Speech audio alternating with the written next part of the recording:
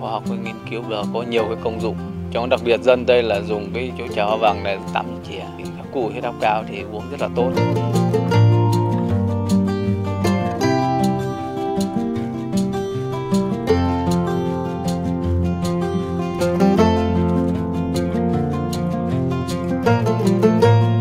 Thủ trước cái thời điểm ong chưa vào lấy được để đảm bảo cái tinh túy nhất ở trong cái hoa